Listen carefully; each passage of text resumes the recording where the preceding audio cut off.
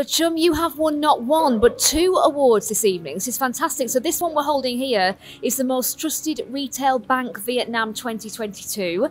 And what was the other award you won?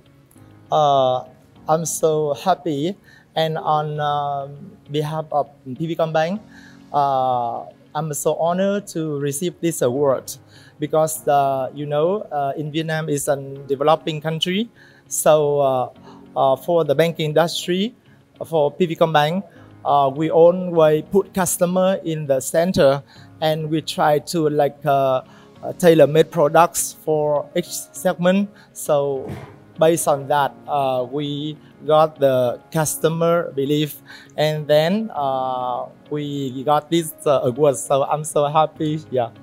It's brilliant. So, you got the Customer Service Award and then this award here. It's very heavy, isn't it? Yeah, uh, both of them because you know, uh, if customer they feel satisfied with your service, they will trust you and they will stay with you. Well, congratulations and enjoy the rest of the evening and celebrate, Trung. Thank you, thank you very much.